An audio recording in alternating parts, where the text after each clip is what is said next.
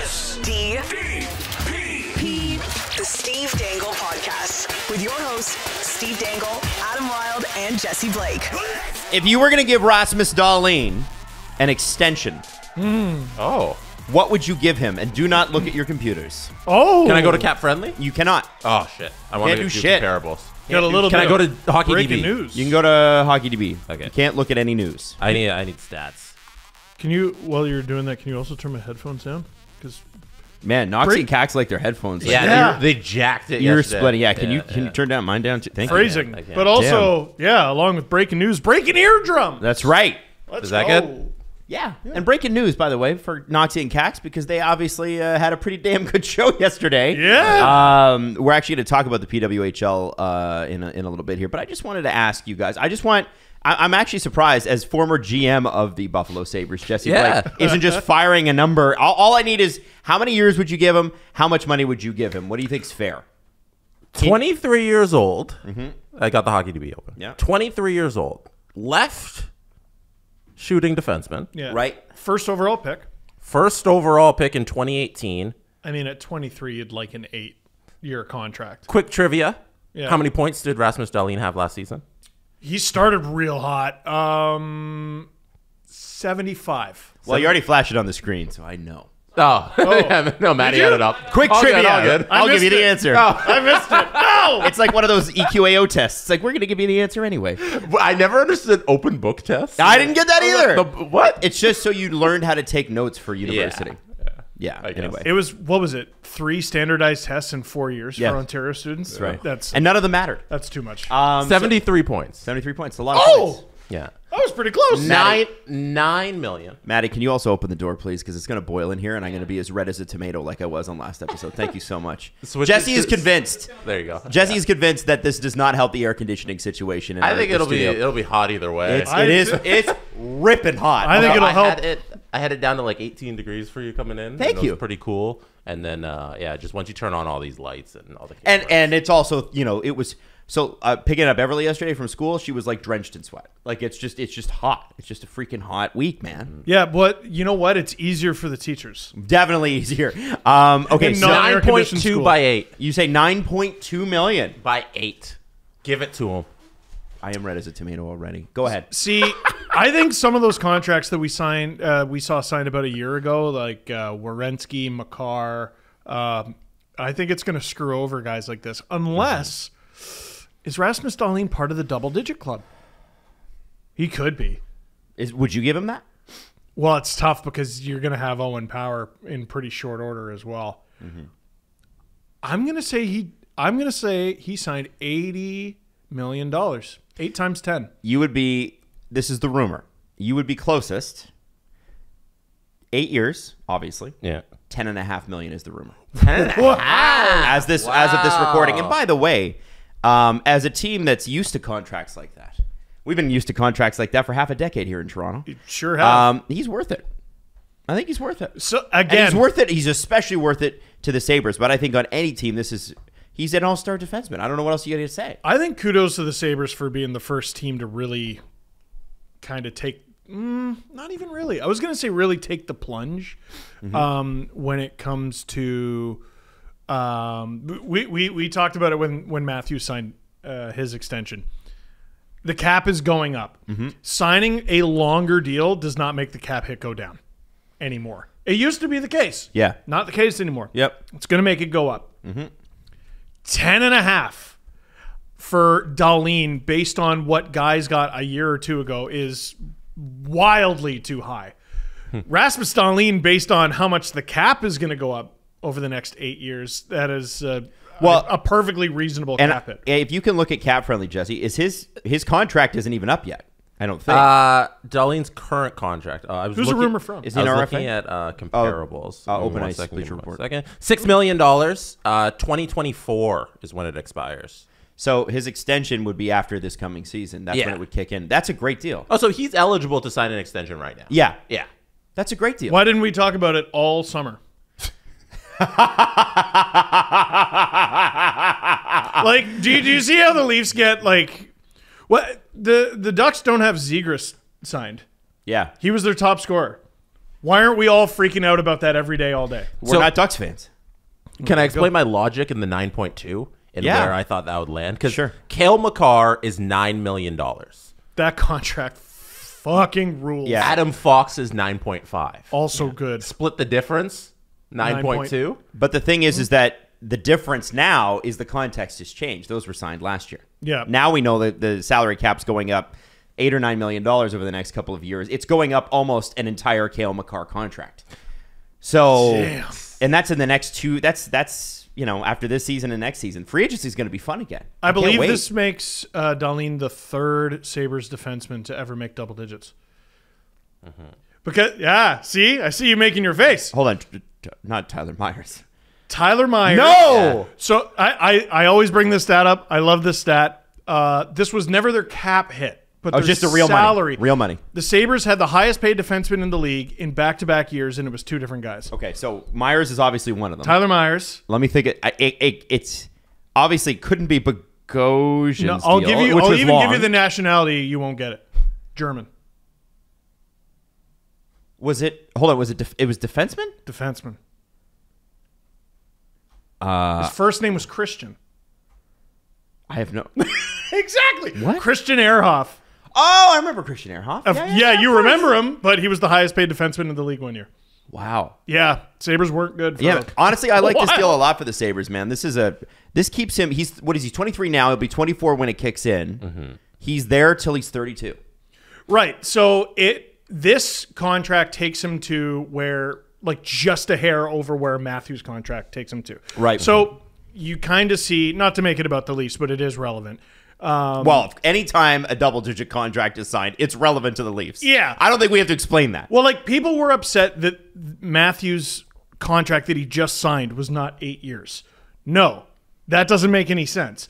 The contract before it, yeah, I get it. yeah, Go I get. it. I get the anger about that. I, I get it. You should have. He, he. You wish it was eight years. It was five. Fine. I get it. Um, when you're 23 and you have a chance to lock a player up, you do it. Um, if they're a star like Dahlin is, you do it. That's why I think the Devils are basically going to be in Stanley them. Cup contention I for hate a them. They're be amazing. Can I give you some Because, other like, numbers? their that, their cap situation's unreal. that puts the Dolly number into a little bit more perspective because Quinn Hughes is 23, 7.8. well, he's going to be signing his third contract though when his is up. Yeah, when it expires. We Oh, got so is Dahlin. Sorry. we got Heiskanen, who is 23 as well, Oh. 8.4. Heiskanen's only eight, uh, only 23. Yeah. It feels like he's been in the NHL for ten years. He's so he's one of He's the most underrated players. Zach Werenski, who's 25, is 9.5. Yeah. and that was like high.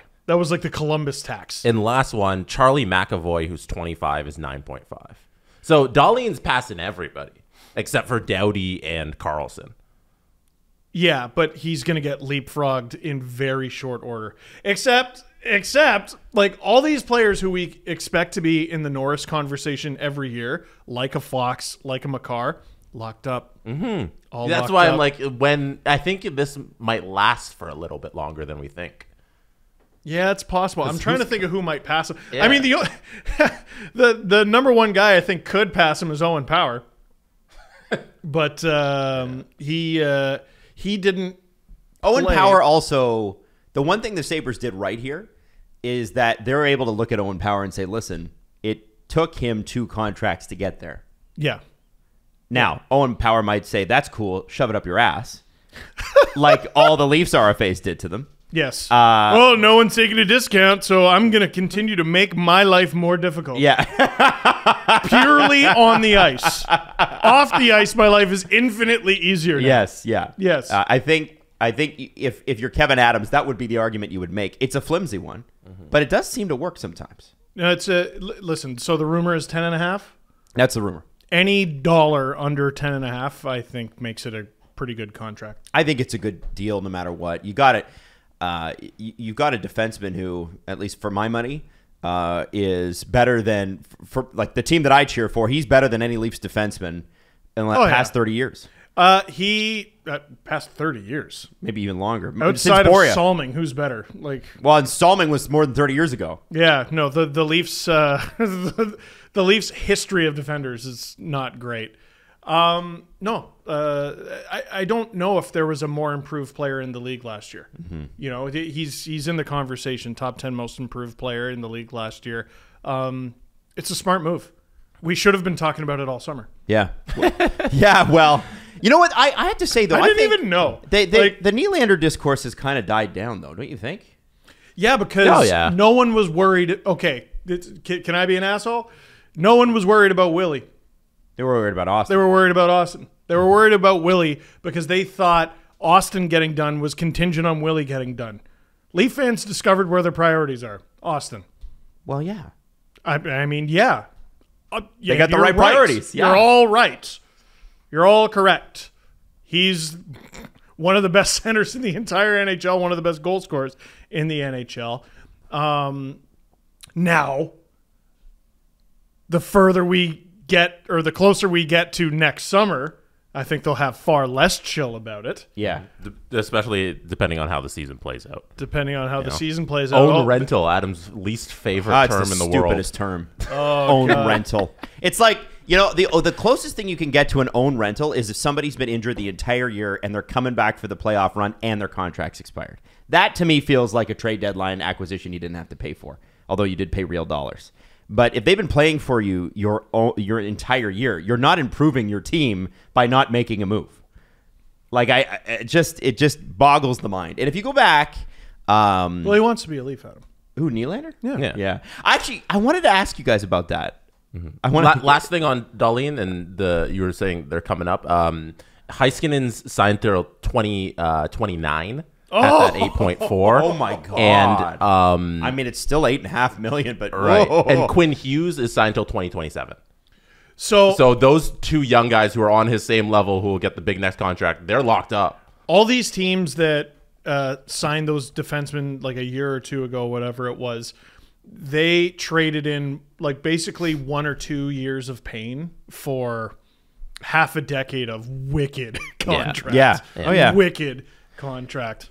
Buffalo- how do you- Bad how do you- timing for Buffalo. Uh, you think it's bad timing? no. No, like if, if they could have gotten this like last year, like say, uh, Oh, you say mean- say Rasmus Dahlin's parents do the whoopee a couple couple months earlier, then like Buffalo's sitting pretty right now. Do, do the whoopee. They I get- think I think he means they watch Sister Act. Yeah, Sister Act 2 was also very good. Very underrated. That's a movie joke, kids. It's a Uh-huh. Whoopi Goldberg joke. if his contract comes up uh, like previous last or last season, he's able to sign a, a nine million dollar deal, and he's till twenty twenty nine or whatever it is. Like Buffalo's even better position, but yeah, I don't disagree that it's a good deal. Yeah, they. I mean, the second contract he signed, it would have been better to get a longer term deal. But Mm-hmm. you also didn't know he was this good. Right.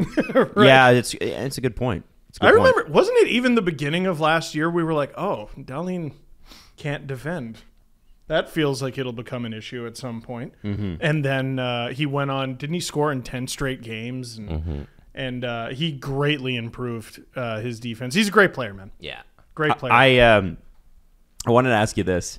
and the Nylander thing. That I, I Well, the Nylander thing, I want to, I, want- I do want to talk about, but the, with the Matthews thing, immediately, like before the contract was even announced, because Matthews put out the the, the Twitter statement a little early before, like we, we were tweeting, it- we were we were sharing the tweet in our group chat with the CJ show, and uh, I'm like, this looks like an extension tweet, and then Julian's like, yeah, it does look like an extension tweet, and then the extension was, I think, announced maybe ten minutes later. Can you imagine if it wasn't? I know.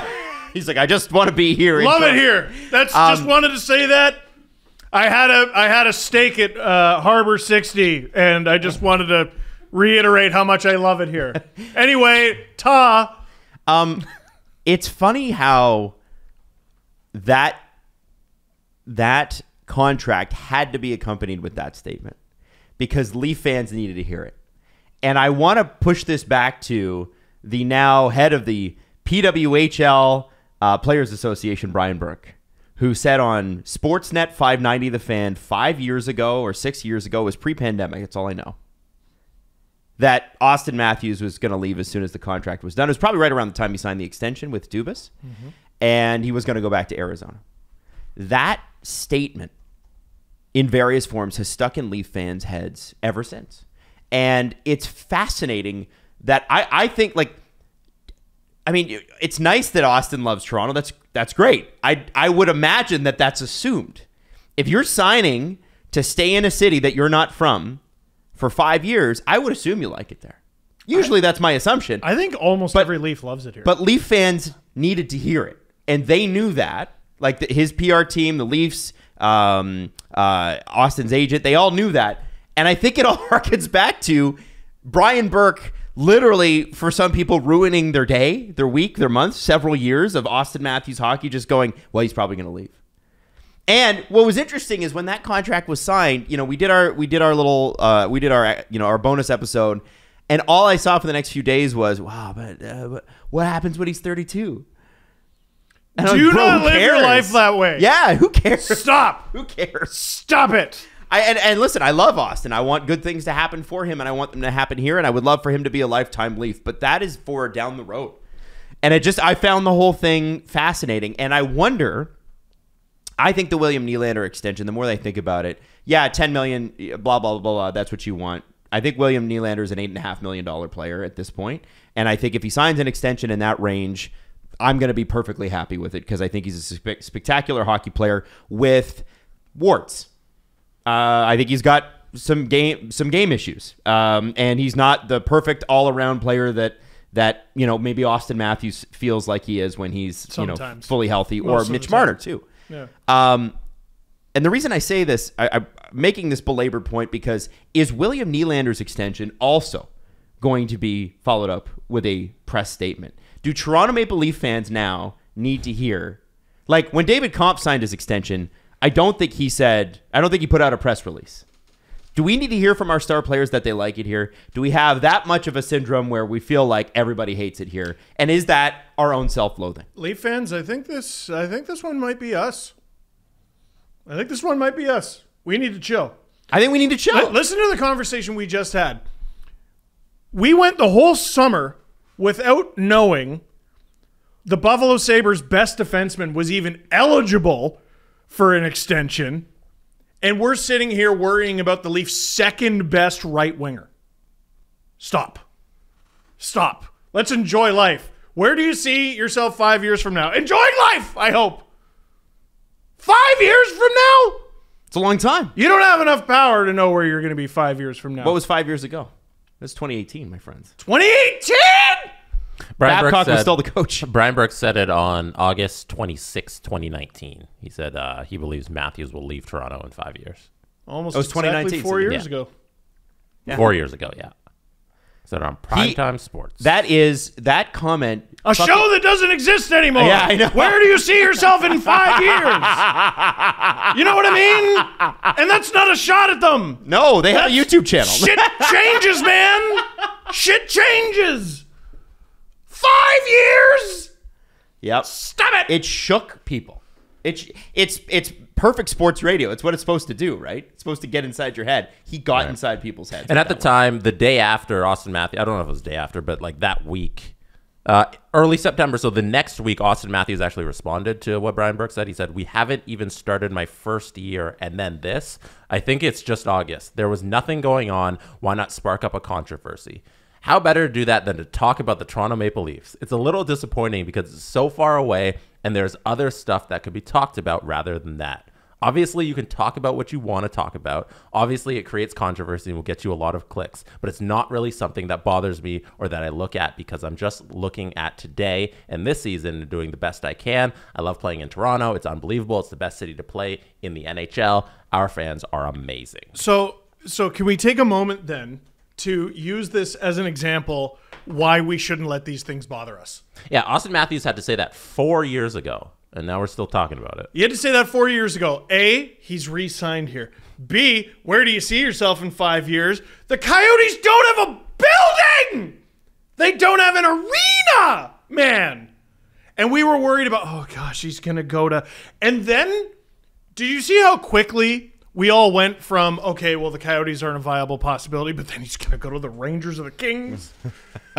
He's gonna go to the Rangers or the Kings, two teams with a with actually four walls and a roof. Oh my god! Guys, y- you have one life. Yeah. You can't spend your one life vibrating, worried about what's gonna happen tomorrow. What if we did though? Well, you know, there's another option. So I'm I'm curious when when when Nylander's extension gets done because the more I think about it, the more I feel like it is going to get done. Um, I've had. I don't care if it does or doesn't. I've had a nice That's how summer. I'm living my life. I've Adam. had a nice summer away from it to go. I think it's going to happen. I feel like this is it's one of those things. Like I, I'm curious to see what kind of press release they put out when that happens. Uh, I'm the other curious thing, to see if he leaves, if they replace him with another hockey player. I bet they will. we did not get the chance to chat about, although you did do a video about um, Sheldon Keefe's extension. Oh, I thought you were going to say Simone Benoit. No, no, we'll talk about Simone Benoit. We Um, will? No, uh, only if he makes the team. so I, I think there was a lot of there was a lot of okay with this. Like it was one of the most mid things to happen for the Leafs this summer. And the reason I wanted to bring it up was I, I don't know if I ever we, we never really even got the chance to chat about it the three of us like off the air. Yeah. So two extra years beyond this one. What did you guys think?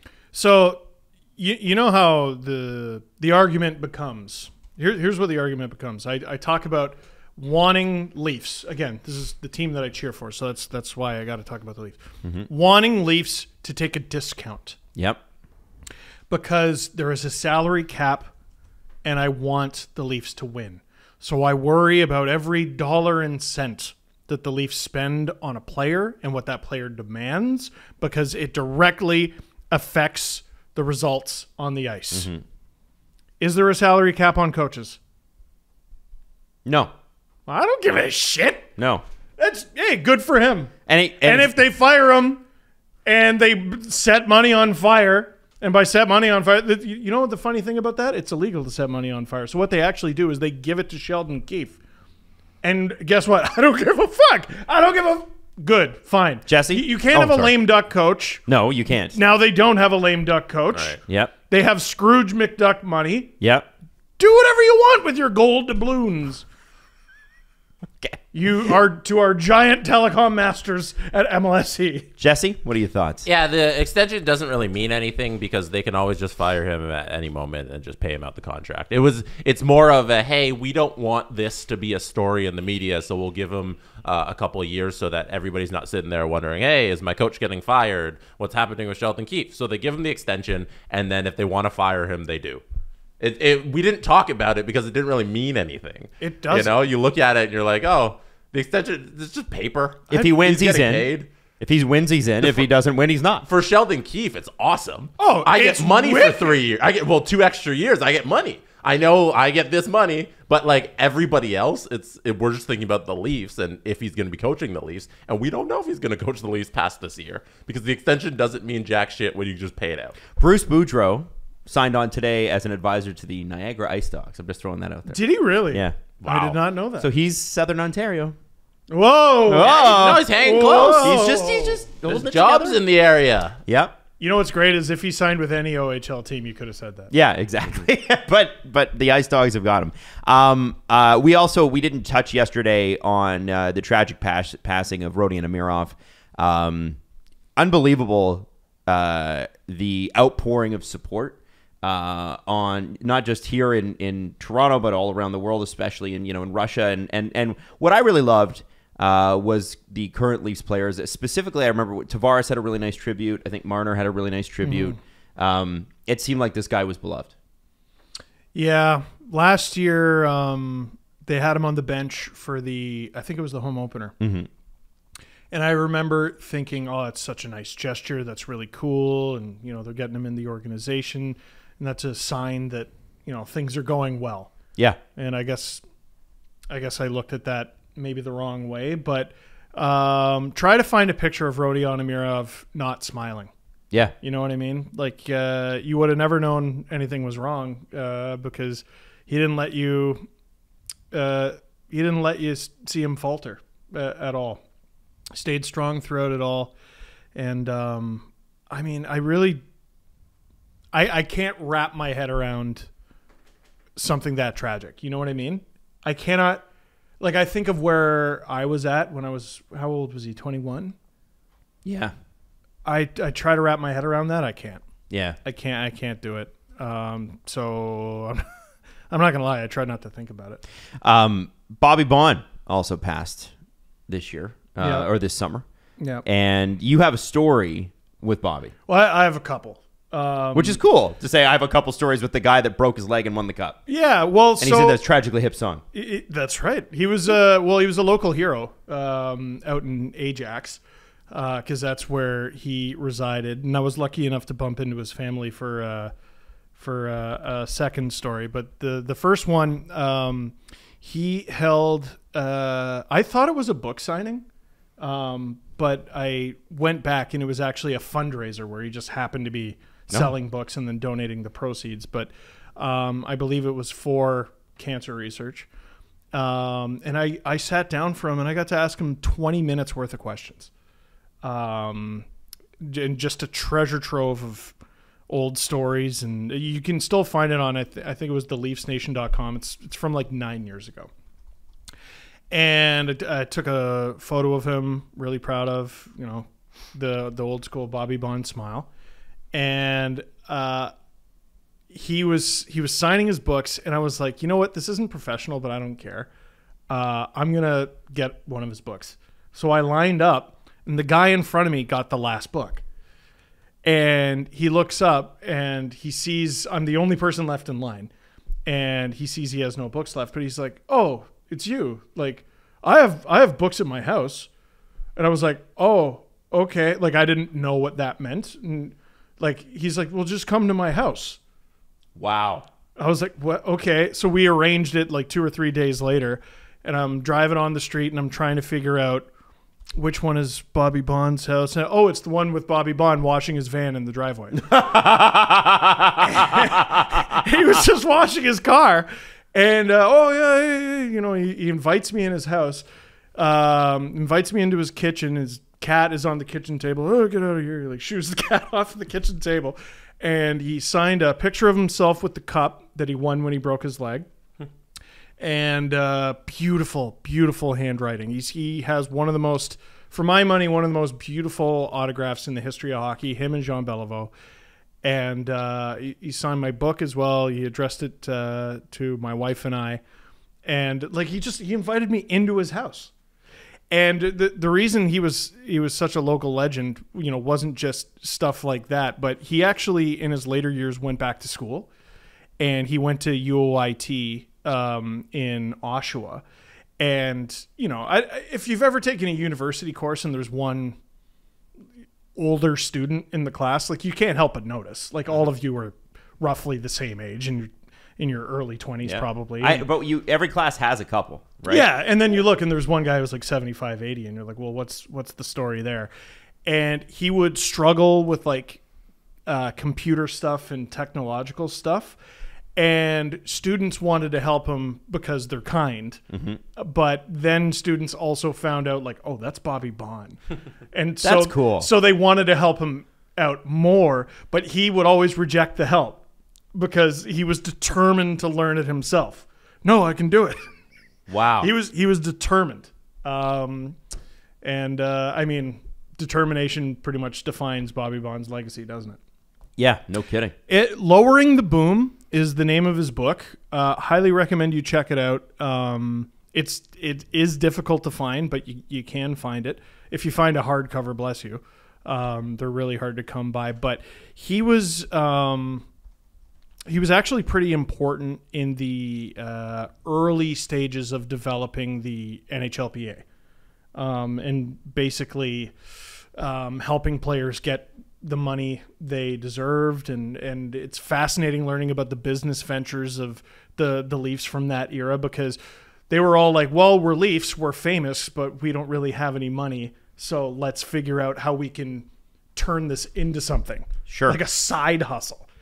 This is back when players needed a side hustle, and he was like, "Well, you know, what if we didn't need this anymore, and we got paid for our blood, sweat, and tears?" So, yeah, check it out. Lowering the. I, I don't know if you've seen them, but um, all around Toronto, you'll still see Dickie Moore um, trailers. And because Dickie Moore started a construction rental company, he's, he's a famous, obviously Montreal Canadien. Yeah. Um, he started a famous rental company in this area, and it still exists to this day. Obviously, Tim Hortons, same thing. Uh, do you know what Maurice Richard did when he retired? When he retired, Yeah, like what I- his job was, because obviously he didn't have enough, he didn't have enough to live on. I know. I know he didn't he work at a moving company or something. I- Yeah, I, just I- remember the commercials what- from when we were a kid. One of them uh, was he worked in like a fish canning company. Right, right. Like he wasn't the spokesperson; he worked there. He worked there. He canned the fish. Just a guy that had you know 500 goals or whatever it was. Isn't First player to ever score 50 goals in a season. Yeah. Yeah, the, the PA did some things, changed some things. Yeah. Um, it's crazy to think about, but My that's- favorite ex hockey player who does something else is Vic Hadfield. Because anybody from the west end of the GTA knows Vic Hadfield uh, driving range. Oh, I- he really? He's owns got- that's driving range. great. Yeah, sometimes he'll he'll come by there and you'll you'll see him just hanging around putting and that sort of stuff, or just working the cash register. But that's a guy who has a thousand games in the NHL. You know, what very famous, successful hockey player, and just has a driving range out in Oakville. yeah. That's cool. Bobby Baun had to do stuff. Lanny McDonald had. Well, Bob, uh, Bob McGill is a real estate agent up uh, near my my wife's family cottage. He's a real estate agent. I Yeah, knew he, he- had a cottage out there. yeah, he moved. He moved up there because he obviously left the MLSE, right? Because Yeah. he worked there for Leafs TV for what twenty years. Doesn't he do like a charity volleyball tournament every year? Yeah, or I think he does. Yeah, yeah, And then yeah, so he's and it's funny because I actually see him. Volleyball. You'll see Yeah. his sign on the side of like a barn, and it's like Bob McGill, agent. You know, please give me a shout or whatever. It's like it's, it's kind of wild. Gotta keep right? busy. Yeah, you got to do something. Yeah, you can't like- do nothing. I mean, listen, I could do nothing. I could enjoy nothing. I would I would pick up like tennis or something. Like you got to find something you want to go to. But a lot of people like they need to they need to have a thing. Well, there's a reason. and I don't blame them. There's a reason uh, a lot of these guys who today could retire the moment they retire, Mm-hmm. um, work until they're like in their 70s. They just Because they're determined people. they they they can't sit still. Yeah. they got itchy feet. Yeah, absolutely. Um, yeah, you know, you know, I always wonder, like guys like Lou Lamoriello, like, don't you want to golf or something? Like, don't you want? No, I, he's in his 80s. He wants to run a hockey team. That's what he wants to do. Who can blame him? do. Now, Should should we let him? yeah, well, I don't know, Islanders fans. Um, uh, I want to ask you guys this actually. Like, do, do you want to be podcasting at 80? No, no. Like, we love this, but do you want to be doing it at 80? I'm gonna bet podcasting doesn't exist 50 years. No, it'll be something else. it'll be something else. yeah. this is like a It'll revert back to being Beta the tape radio. thing. there's something. Yeah, no, I don't know. I have no what's, idea. what's Zuckerberg working on? You know, Uh, Are we going to be in the metaverse? maybe. That thing that he took that, that no one uses? Are we doing a Roblox uh, I look universe? forward to the day where like people have footage of these shows and we sound as old as Foster. I know. Hewitt. I well, it's like um, if you look up the the Today Show when they're explaining the internet in like 1993. Oh, So- I know. So what is the internet exactly? Bryant Gumbel and uh, is on there, and they they have like an expert explaining what it is. It's Mm-hmm. hilarious. Um, I want to talk about this very quickly because uh, there's this is a brand new announcement as of this morning. Jeff Marek is reporting that Toronto's PWHL franchise uh, have hired Troy Ryan, who is the Canadian national women's head coach, to be the coach for them, which is a really good get. Oh, nice. Uh, we also found out about some signings. Uh, we haven't heard everybody yet, but um, Sportsnet's got a uh, signing tracker up, so we have not heard from Boston or Minnesota, but we do know as of yesterday, Marie-Philippe Poulin uh, and Renee Desbiens uh, and Laura Stacey are going to be with the Montreal franchise, Abby Roque and Alex Carpenter in New York. Uh, Emily Clark, Brianne Jenner, and Emerance. Uh, I, fr- I can never pronounce Maschmeyer. Maschmeyer. Yeah. Um, uh, all of them signing. Great goal. Yeah. So the Ottawa, we know that Ottawa, all three of those players are th- on three-year deals. We also know, and this is a big get for Toronto. Both, the, like, well, actually, all three of these: uh, Sarah Nurse, Renata Fast, and Blair Turnbull, all on three-year contracts. Um, I mean, that's uh, pretty solid. Three years is pretty solid. Three years is pretty solid too. I So like we that. don't have the term lengths. Um, and obviously, we found out in Noxie and Cax yesterday that we may not know the financial terms unless all the players vote on that being publicized. I really hope they don't decide to keep it um, under wraps, like their contract details. Like I think that stuff, just for the the sake of the game, you should know how much your competitors are making, so you know how much you should be. Making. you should be charging. Yeah, that's the whole thing about salary disclosure is that, and that's why you're starting to see it a lot on um, job postings, because people are demanding it. They will not, they won't even apply for a job that doesn't have that because Well, you shouldn't. it's a way for companies to keep your salary down You- yeah. because you got nobody to to you know put it against. Uh, I'll I'll give you I'll give you an example. Um, so the camel rides Mm-hmm. at the zoo. I am serious. I'm about to make this, but it's far more relevant because more people are gonna work at a tourist attraction than play professional hockey. Right. But um, there was there was a guy who worked at the camel rides. Now this was not through the Toronto Zoo. It was through a different zoo that was affiliated, but you know. Um, and th- they said to him in the job interview, they go, uh, "What do you want to make?" And he wanted the job, so he goes, uh, mi- "Minimum's fine." And so he got minimum wage, and everyone after him for years got minimum wage Fuck. because they're like, "Well, he makes minimum." Oh, Yeah, that's underhanded. Yeah. yeah. Well, hey, so what? What do you Always Want? ask for the maximum. always, always, always. Don't even Oh, be afraid of it. Well, Just like- go for it. Yeah, but you're like a teenager. Why take yourself like- out of the race? No, but this is what we need to teach our kids. No, I agree. Don't take agree yourself out you. of the race before it's even started. I so agree. so uh, right now Montreal signed MVP. yeah, They've, they've she should make the most. she's it, she should be the top earning player in the PWHL. So everybody from there should be percentage of how good you are compared to MVP. Should be the Connor McDavid bar, you know? It's Well, like the, well, it's the Gretzky one, right? yeah. Like I'm not. Yeah. Hey, Well, I I'm also not think- ten percent as good. So I'd say MPP and Hilary Knight, right? Sarah Nurse too. Sarah Nurse. Sarah Nurse, yeah. But like, like- I, I'm putting I'm putting Miss Marie Philippe Poulin right at the top. Yeah, I'm 'cause she's sorry. I'm sorry to Hilary Knight. Sorry, Hilary Knight. Also, You're not Canadian. Boston's got no signings right now. I'm not saying Hilary Knight's oh, probably going to Boston, Oh, come on. but She's she's for probably sure in the next Boston. couple of days we're going to hear Hilary Knight signing in Boston. Nothing wrong with spreading out the news as well. I thought I had read somewhere that the players have access to the salary information, um, but it's not publicly available. Maybe I'm maybe I don't I'm know. mistaken. I don't know. I don't know. mistaken. Uh, but I- but I hope Cats it. did not mention that. I hope it's out there. Yeah. yeah. Like, we get a cap friendly for this league. This has been the hardest. So, like, again, we haven't spoken much about this um, for as long as it's been going on, which is months and months and months. And the reason is I don't want to. Oh. it feels stupid to be like, oh, um, here's here's what I read when we have these treasure troves of information in Noxie and Cax. And we know they're going to do a show when they have all the information, so let's just shut up and let them say it.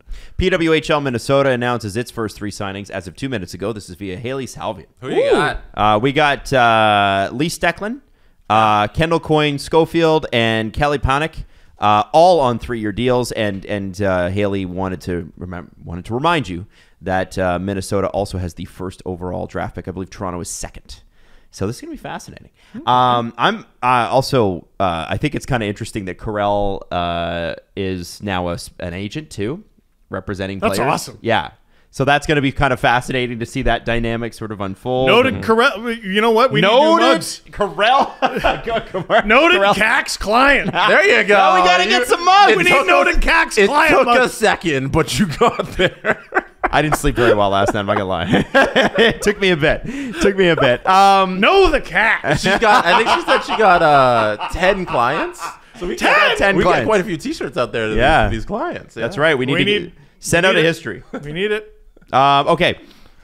Um, we talked a little bit yesterday about the uh, the the constant drama that is the KHL, um, and there's more. What uh, now? it- it's not Michkov, but it's Ivan Fedotov. Oh, jeez. Now, Ivan Fedotov, uh, this is as of five days ago. Some people have been paying attention, some people haven't. If you don't remember, uh, he has a contract, a valid contract with the Philadelphia Flyers. He was going to play for the Flyers last year. Some would say that if Fedotov had come in and done a good job, Chuck Fletcher would still be there. Uh, So you know I- what? Ivan Fedotov could have saved Chuck Fletcher's job, and the hilarity would have ensued. It's it's a hell of a leap, but like you're not totally Like if they'd finished twentieth, he still got a job. Listen, like uh, I I spoke to some KHL players when um, that whole story was breaking, and they're like, "Yo, that goalie's f- legit. He's one of the best in this league." He's 26 years old. Uh, the IIHF ruled last month in favor of the NHL uh, and saying that uh, Fedotov's contract uh, would be told after, he- basically meaning that his contract starts whenever he shows up with the Flyers, right? Um, the ruling voided Fedotov's contract with CSKA. Uh, the KHL club uh, also received a one-year international transfer ban because they were trying to block this, right? So they can't do any international transfers.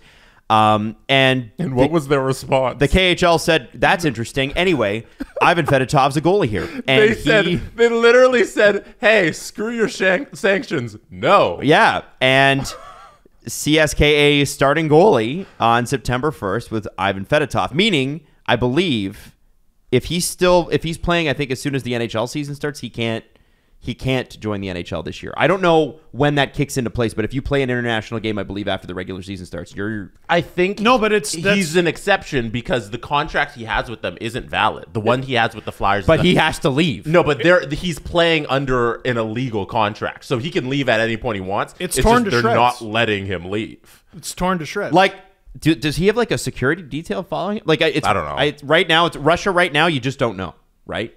So I so the KHL, the landscape of the KHL changes so often. JP Barry, by the way, who is Fedotov's agent, I want to add this, said in a July statement that the goaltender would abide by the double IHF's ruling either way. He said, "We spoke to Ivan today, and his position is that he will abide by the double IHA, uh, double IHF uh, ruling, whether it's the Flyers or CSKA. Um, he simply wants to resume his career. By the way, he he was going to go over and play for them, and the part we left out, and we mentioned it yesterday, is that the Russian government said, "Oh, no, you have military service," Yeah. which hockey players traditionally have been able to skip. Um, and he ended up in the Navy in the Baltic, which is very effing cold. And he has he has played a game for CSK this Yeah. season. Yeah, yeah, he started, started- the first game. started September Yeah, 1st. So, so he's like he's playing under an illegal contract. He He's also from be with Finland. the Flyers. Which I should know. So here's here's what I'm. So the the landscape of the KHL has changed dramatically since I was doing highlights for them a decade ago, and um, there were more countries involved back then, um, which you would have had, frankly, more opportunities to escape. yeah, well, because you had you had Cro- Croatia, you had Czechia, you had Croatia had Finland a team, had Czechia, a team Slovakia. because Jokerit was there. Did Sweden have a team? No, Finland did. Finland, yeah. They had Jokerit. Um, Belarus, Belarus. Well, but so that they're you know closely allied. But yeah. So here's the problem. So China I'm, had a team. I'm looking. Uh, China didn't back then. Oh, China now that now they do. So Minsk in Belarus, Beijing in China, and I believe there is one more team outside of Russia, and it is Barys Astana in Kazakhstan. Hmm. Um, I think he's stuck. Right. And and the question is like, okay, the IIHF ruled that your contract in Russia is not valid. The Flyers have your rights. So why is he still there? So it, it comes back to something we talked to, uh, about yesterday. And Rotenberg, who's in charge of this council, and also his nephew, who's the coach over. Yeah, Arkady Rotenberg is the chairman Yeah. of the Russian Ice Hockey Federation. His nephew is the coach of C, uh, of SKA St. Petersburg. Um, and Yeah. it's So a small council, I'll read this directly. A small council excluding the IIHF consisted of vital members from the uh, RHF, the KHL, and, the, and CSKA uh, making the decision. The council included Rotenberg and um, and, the and close allies of Vladimir Putin Yeah. uh, they decided that it was biased one-sided affair with the Russian Federation in defiance of the fair and balanced contract agreement decision upheld by the IIHF in favor of the NHL and the Flyers. So they said it was biased and that their ruling in Russia is the one that's valid. These guys who, who are in charge of the league who who said that we who made the contract say our contract is valid and we supersede the IIHF, which is just makes no sense because you can't say that my ruling just means more because I say it means more. You're- so he you're- doesn't. Uh, Fedotov's not going to fight the Russian government, so he played goal and he's playing uh, for this. I, I want you, to. you cannot welcome them to any international tournament in the near future. Well, and and You- it you can't. it also um, it I think it ties in with the NHL and the NHLPA. Uh, there's a report out this summer. Um, I'm just getting all the stuff that we couldn't get to this summer. Um, that the PA and the NHL are working on an internal competition for 2025, which I'm assuming is something along the lines of a quote World Cup of hockey with some of Europe. Um, uh, I'm assuming Russia won't be invited to that. Athletes from Russia, maybe, um, and uh, and then a return to the Olympics. And one of the problems with going to the Olympics, if you're coming only from Gary Bettman and Bill Daly's perspective is they don't want to pay uh, to send the players, and they don't want to pay the insurance and all the other things that you know because there are costs incurred. And you know, John Tavares got injured at an Olympics, and the you know the Islanders lost him for the rest of the season. And owners are you know I understand that as an owner, if I'm paying a guy 50, 60 million bucks, I I for sure like want him to. I understand where it comes from. I get where it's come from. It's still the wrong call, but I get it. Yeah. Um, and so they're working on that now. The NHL obviously has always had a powerful position because the NHL has the best players. Yes. If the AAHF were to come back at the NHL, the AAHF's, you know, obviously it's got the various European leagues that are run much differently than the NHL is. They're not franchises so much as they're, you know, a lot of them are community owned and and and supported and that sort of thing. Without the KHL, how much in the way of teeth does the double IHF really have? Because I, my belief has always been that their main source of support, especially coming out of the last lockout, where the KHL came out looking pretty good, right? You know, ten years ago, you were working for the KHL. Um, there was a lot of players, NHL players, going and playing over there, and they were able to pull players like Ilya Kovalchuk away from the NHL with enormous money, right? That that used to happen. It's not happening anymore. How valuable, how much power, how much credence do we give the double IHF now if they don't have that Russian base? And I know that sounds a little ridiculous, but they have all the hockey outside of North America. The biggest league outside of North America is the Continental Hockey League. And with Russia saying, we're not going to listen to you without saying it, why does the NHL have to listen to them? And I know they're hooked in with the Olympics, but still, Uh, I think I think it's a matter of uh, it's just the KHL is not listening. The, mm-hmm. like, listen, the NHL wouldn't listen to the double IHF if the double IHF was being unreasonable. They're not being unreasonable here. no, they're being completely reasonable. They're being completely reasonable. So, like, I understand the scenario or the potential scenario that you're talking about. I just don't think it's realistic. But I do you think that the NHL doesn't now try to bully the double IHF because that's how the NHL operates. Oh, I'm sure that's that's a day that ends with Y for the double IHF though. Yeah. You know. And i mean what does the double ihf uh, or what does the nhl care about with regard to the double ihf um, outside of like is isn't this agreement with the khl and honoring contracts the most important thing for the nhl if they want to do an international tournament they can simply do one. We already know that right? And if they wanted to go to the Olympics, but the double IHF said no. Like, well, yeah, they're always going to say yeah, but the, does the NHL then use this opportunity to go the double IHF's week? Let's push them on the expenses and make them pay. You want stars? Ah. You're not gonna you're not gonna get stars in the Olympics uh, out of out of the KHL. Well, maybe this So- maybe this is why things are progressing. maybe this be. maybe this is why things are actually moving forward. Isn't it weird that they dug in for so long about the Olympics and now they're like, we got it. We'll go. It's great. And we all thought it was because they were going to have this World Cup. Well, Sounds like they're going to do both. maybe the maybe the uh, maybe the double IHF blinked. Well, I, I don't know if they have a choice at this point. I just thought that was interesting. That dynamic is going to be that's going to change significantly. René Fasel and uh, Gary Bettman used to go head to head all the time. They'd issue press releases, and they you'd see them sitting together at hockey games, hating it, but they'd have to sit together and talk for three hours. I don't know. It's it's I'm still unsure that NHL players will be at the next Olympics. It seems Well, it's not done. I'll believe it when I see it. It's not done. It's, it feels still so touch and go. Like they're they're pretty close uh, last time around. If like COVID didn't take over that whole situation, the, This the, um, podcast was one year old last time the NHL was at the Olympics. oh my god. yeah, like I don't know because they're them putting on their own World Cup, like that's gonna happen.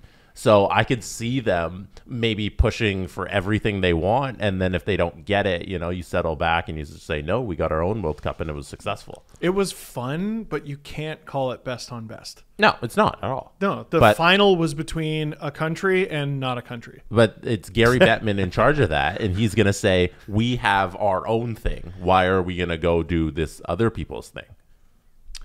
Because way more people care about the other people's thing than your thing. They they haven't cared about that in a long time. No, like w- that World Cup. Would the 2016 World Cup have been a colossal failure if it wasn't here? the one hockey market that they could not possibly bleed dry. Yeah. Oh yeah. Like not not to play that card. A lot of a lot of the There's a reason they hosted it in Toronto. right. Fuck yeah. And I get that. I, I understand that. You want to, but the thing about it is that Toronto would have been a great launching pad. It people came away from that World Cup, except for the finals game, which was or the finals series, The which was kind of game, boring um, because it was like Canada dominating some of Europe. Uh, Not the final no, the game. fi- the last game was like overtime, right? Or Yeah, I- last minute they scored. oh, Because it was a best Yeah. of three. Oh, best of three. Um, the I first think- game was dominating. I think Yeah. Canada kicked their ass the first game. Yeah, yeah. Um, I just remember everything up to the finals was really exciting. It actually, the Team North America was awesome, and like that was cool. It's still one of my They didn't even make it out of the round robin. I, could have gone to that game, I know, and I it's still it's. I know, Team North Honestly, it's maybe my greatest. didn't make it out of the round. but they were round robin. fun. They were fun to watch. They, were- thought they did. yeah, Oh. yeah. They thought that that great video of Morgan Rielly mic'd up and reacting to MacKinnon's game winner. They all thought they advanced. Yeah. That's why they reacted But that but way. the thing about that is that was the great momentum jumping off point. Mm-hmm. The, the the feeling after that World Cup World Cup in quotes was real like it really did have a really good feeling to it. But now we're talking guys, we sound old talking, but we were we were in our mid 20s when that happened. And and so like that's how long it's been. So there so like to to get that sort of momentum again, you sort of have to restart the whole thing. Three World Cups ago, the starting goalie for the States was Mike Richter. Was that 96? Yeah. Yeah, there's been a 96, a 2003. Four, I think. Okay. It was right before the lockout. Right, And, and- Lemieux was on Canada. I remember that. And then that. 2016. None of none of the Canada games were.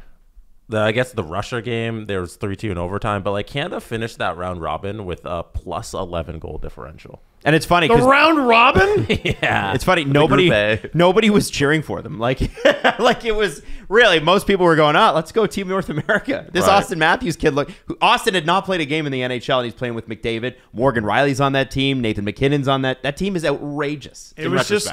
I mean, it was just a influencer haven, too. Oh, like, yeah. I'm, I'm curious how many people bought tickets. There were a lot of lanyards. yeah. A lot of lanyards, man. Yeah. How many games did the United States win? Oh, they didn't do well. They went zero and three. Ooh, yeah. No way. And Torts was the coach, was he not? I'm pretty sure Torts was the Ah, coach, and he didn't take. Phil Kessel, and then that, that's where that famous feels like there's somewhere I should be right now. A tweet came Oh. from. That was a great tournament. It really was. There was drama. There was surprise. There was like it was. It really was. If they had just continued to go with it, they would have been fine. It was well traveled, too. Oh yeah, A lot of Swedes came. yeah, it was think a lot of Finns came. Mm-hmm. Ah, well. Yeah, fascinating. I don't have the head coaches. I think you're right with Torts. Um, so yeah, uh, the other thing I thought was interesting from the IIHF, uh, I don't know if you guys saw this or not, but um, refs in Sweden can be interviewed after the game on television.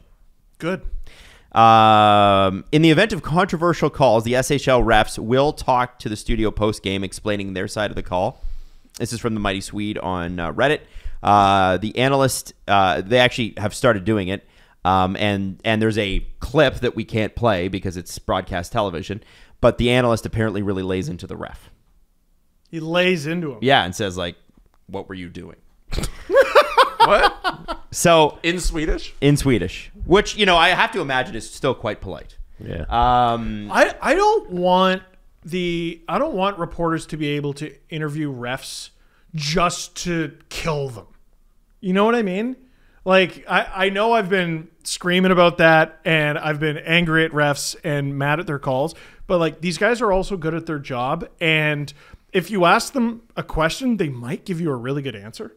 Yeah, I don't. I don't think the whole. I don't think the point is to sewer them. I think the point is to get clarity, which Yes. is what we're not allowed to have right now. Yes. Like how often after a game are you just like, well, I don't I don't fucking I don't know. what just happened? I don't know.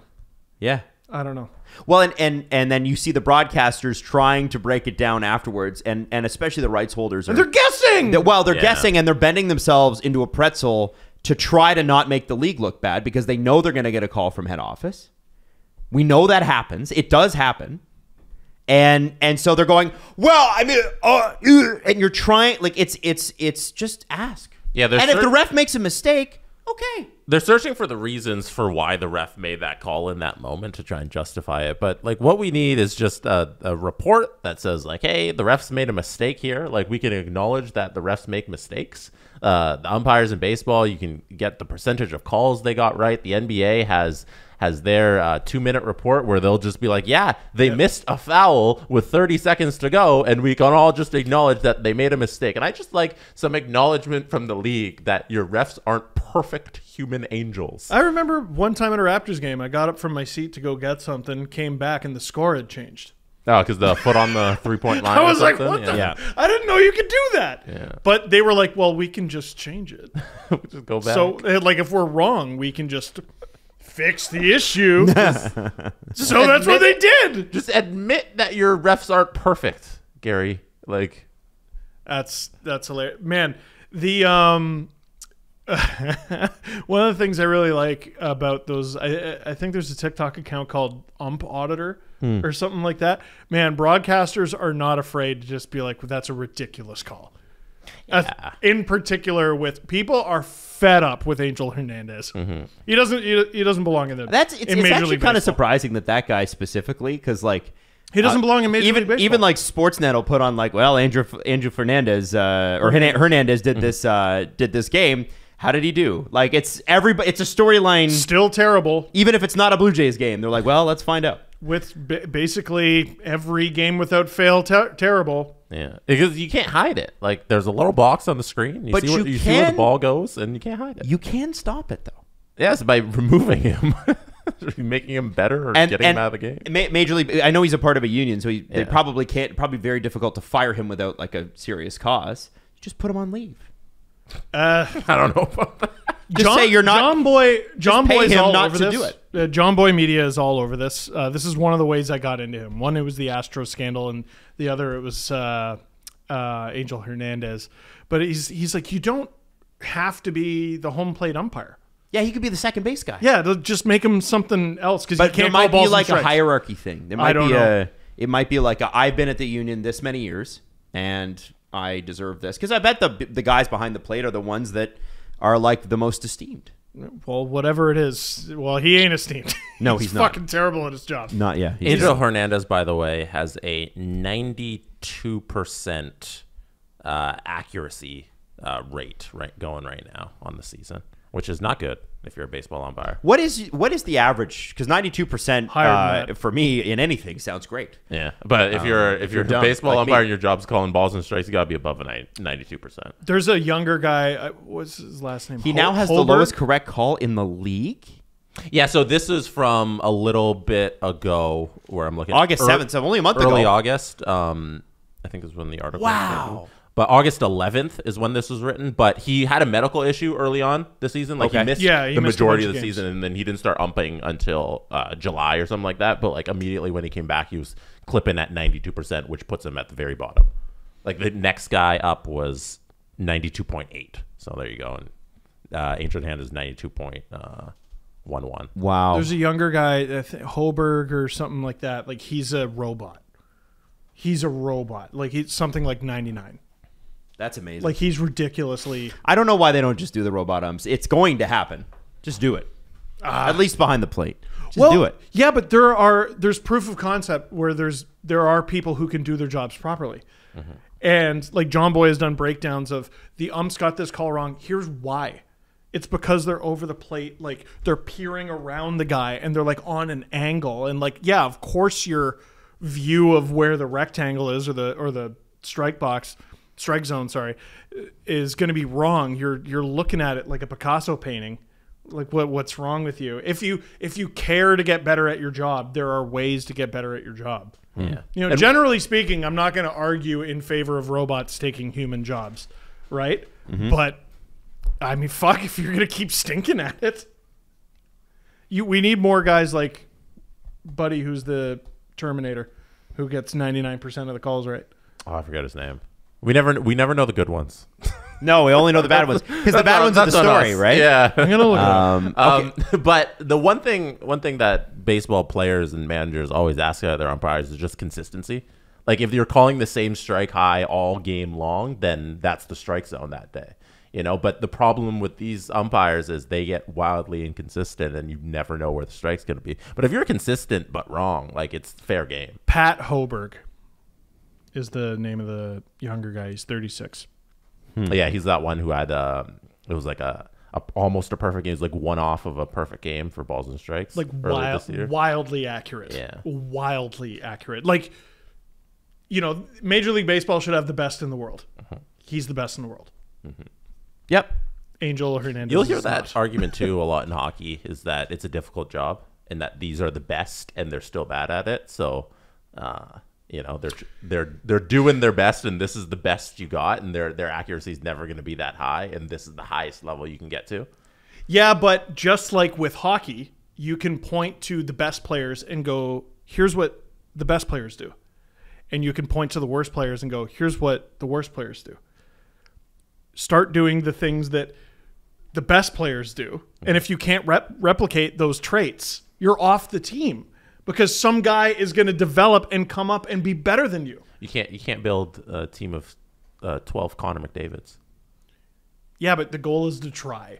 the goal is to, but you can have a McDavid and a Draisaitl and a Hyman and a you know, uh, all the other guys in the Oilers who score fifty goals. How many how many referees are there in the NHL? Do you guys know? Shitload. Like the total amount referees? I don't know. I don't know. I don't know how you find a happy medium there. Like on any given night, there's going to be seven or eight games, like on on busy nights, and then there's certain nights where there's like two or three. So you're going to need four for each of those. So let's say there's 28 needed, but then you got people in travel, and uh, they're moving around all the time because the refs travel as much or more than the players do. So like, do you need 100 refs? Do you need 120 refs? Uh, when NHL referees or linemen finish officiating a game, the best results no one talking about. They're the league's 35 full time referees and 35 linesmen. Wow, that's it. That's it. Wow. That's not much. They don't have a long cast to like swap in guys. Damn. You'd think they'd be able to find better ones. I guess it's only you can only do 16 games a night. so Yeah. 30, 35 Yeah. is is more than double. okay. There was one guy. Can't remember his name. Can't remember if he was an official or a linesman, but he's like a world class golfer. Um, to the point where he was yeah. he was doing U.S. Open qualifiers. Yeah. and he had to leave his U.S. Open qualifier to go do. I think it was like an Avs Blues playoff game. My uh the the guy who my swing coach, he knows him. No They're way! like, they're like Really? No way! He's golfed with him before. Yeah. That's incredible. That's really cool. I, I forget it. I forget his name. I'll, Ah! I'll, uh, That is I'll- cool. I'll go look it up and stuff. Um, We should, I should bring him on uh, Jesse versus. You Yeah! I'll reach out. I'll see, And I'll just see get what I can do. mopped. I'm just gonna ask him terrible reference. you should have you should have even up scores too. What? if you bring him on. What do you mean? Oh, it's, it's a ref ref theme, right? so if somebody gets par, somebody else should get par as well. Jesse's five over par. This guy's five under. No, you're both up. you're both Zero. zero even par. this putt is worth triple. Even Yeah. it. So I was looking to get a putt for Nashville. Yeah, I was worried there that I'm like, am I misunderstanding the conversation when the joke didn't No, land? no. I was like, shit. Like, uh, I I swear to God, I've been listening the whole time. That's funny, Uh, um, Patrick Kane says uh, rehab from hip surgery is on track, if not ahead of schedule.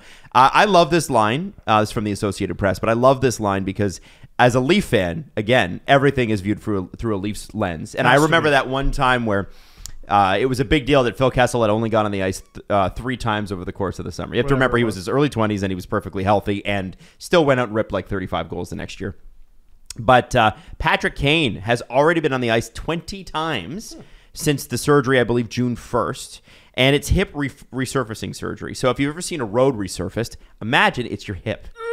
Um, and I guess he says he's feeling better. He says he's getting back to his old self, with which he feels is is exciting, and that potentially he could be back before. So my question is, where does he play? Hmm. Because, I mean, New York makes a lot of sense, but with the caps, the cap being the way that it is, not the not the Washington Capitals, um, he's probably going to have to sign like a league man deal. I think it's going to be bonus laden, right? Like think of think of the sort of deal that Connor Brown signed with the Oilers. Sure. where I think it's league min or around league min, but if you play Remember Is it- Bergeron's contract last year? Oh, you play ten games, you get another like Yeah, two, but is it two worth, million dollars? Is it worth going over the cap, like having cap overage at the end of the season to have Patrick Kane in the lineup? Because So- that's what you're looking at for a lot of these teams. that over the next year or two? I think that's going to be very, very interesting. Um, Elliot Friedman was talking about this because the cap is going to go up by basically leaps and bounds. If you're a team that Is in win now mode. well, you're in win now mode and it's looking realistic that you could do it. I mean, why wouldn't you kick the can down the road? You know, a couple of years ago, if you go 2 million over the cap and it carries over to next year, that's a disaster. Yeah, yeah, That's yeah. killing you. Like, like But if you go a couple million over, like the, I think this the the Bruins were over last year. So if this Yes. were next year, it wouldn't be so bad. Exactly. Even this year, I mean, it did go up a little. Um, and f- I mean, who could blame them? They won 65 games. Yeah. Their goalie won the Vezina and scored a goal. But if you delay that, that. a year, it's probably like they're probably able to hold on like to like Bertuzzi and Yeah, like their their cap still probably goes up, even though there's a whatever million dollar penalty uh, up against it, Interesting. right? That's So- interesting. So I don't think any team would have a problem. Like uh, the Oilers, obviously don't give a shit about giving Connor Brown a contract that could take them over the cap. Yeah. Um, I don't think any team out there would uh, hesitate to go over the cap if it meant them getting Patrick Kane. I like that as a strategy too. Like I do like Uh, because I think the Patriots did that with Tom Brady for years. Like they kind of loaded up, loaded up, loaded up, and had overages. And then once Brady left and went to Tampa, there was like some penalties, weren't there? He he deferred his contract every year, so he would keep pushing the money that he was owed every year, so that the Patriots would have more to work with. Oh. so like he would be owed twenty million, but he would defer it to the next. and you can do that in the NFL, which you can't so do. you can defer the money, and you then but eventually I know. you got to pay it out. You know, And then they had to Eventually- do that. So eventually, it, it'll catch up with them after they win seven Super Bowls. So you know, or six in in in New England. But yeah. but would I do it all again? I think they would do it all again. yeah. Um, I didn't hear much about this this summer, but uh, Jonas uh, Donskoi uh, retired uh, this year, 31 years old, uh, multiple concussions.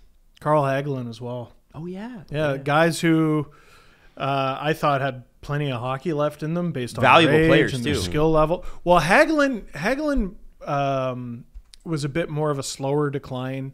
Um, like he went from playoff rock star to like replacement level, um, kind of to the point where you didn't notice Mm-hmm. until he was like getting healthy, scratched and stuff. Um, I mean this this is the uh, cautionary tale, right? Whenever a player, you know, doesn't take the the max contract or the max money, you know, whenever a player leaves money on the table, like we all, or at least I, want my favorite players on my favorite team to do, um, you may never see that money again. Yeah. Your body might tell you it's over. And that's what it did for Donskoi, and that's what it did for Hagelin. I wonder if um, I'm just thinking about this now because there's the new CBA that's going to come in the next few years here. I wonder if sar- salary deferral is going to be on the cards. I wonder if that's what the PA pushes for. So, so if you're if you're in a position because because let's let's not argue this um, because it's true. Auston Matthews, William Nylander, John Tavares, and Mitch Marner have taken a lot of shit because they're collective deals, even though all of them have performed very well. And really, if you're gonna make if you're gonna split hairs, only Tavares in some circles has underperformed, and frankly, I don't think he has. I think he's been spectacular every single year. He's been yeah. Um, all of them are. I, I think it's it's almost inarguable that all of them are worth that. It's just are they worth that together? And if one or two of those guys could have pushed it down the road a little bit, um, Wouldn't that that have helped the Leafs bring on some other people, allowed them to get out of the first round earlier, and maybe change the way that the team is looked at? Like I feel like the hard the hardness of the cap. is it's really not good for the players or the team. The hard just cap ca- sucks. It sucks. Like It just in sucks. every single way, there should be no hard, just flat line cap. You can't go over. it. It's go stupid. over it. It hurts. It hurts the players. It hurts the league. It'd be more, so much more fun. It was just a soft cap. You do a luxury tax and you pay into it. More money goes in the league. More money goes to the players, and you get more creative with these teams. I just feel like it Oh, flies. Jesse. Whoa. Fucking crazy, Whoa. crazy idea. I just think it flies in the face of what the NHL wants, which is parity, right? So like we brought up, oh, the NHL has salary, or sorry, the NFL has sal- salary deferral, and look, the Patriots won six Super Bowls. Well, that's not what the I'm NHL also- wants. I overly simplified that. Yeah, Just for the sake and of I also the know. Patriots. The Patriots are fair enough, Steve. Um, but like I, I, if we want, I don't want to get too much in the cap conversation. I know people get annoyed, but if you look at the the uh, the NBA, which has a luxury to hard tax, so there is a luxury tax threshold, and then there is a hard. You can't fucking pass this number. Um, the cap and then the real and, cap. and people are like, well, only only the big market teams win in the NBA. Um, uh, Is Milwaukee a big market team in the NBA? They're they're they've been State? dominant for seven years. Got a championship. I know that Miami won some championships. I know LA won some championships growing up. But do you watch the NBA? the Golden State Warriors aren't even the biggest. They're not even the second Nah, biggest team in Golden- California. Golden State's a big market. They're a big market now, but who who the fuck were the Warriors when we were growing up? That's true. When I guess when they were over in Oakland. When they They're needed, smaller than the old Clippers. yeah, when they got Yeah, but like you think about the proximity to everything that they are right now in San Francisco, their proximity to the billions of dollars. I guess that's than true. Any other team, That's true. You know, That's true. Yeah, a- absolutely. But getting Steph Curry changed that. Being a Warrior before was like, oh, good for you. You- you're putting a lot of disrespect on Baron Davis.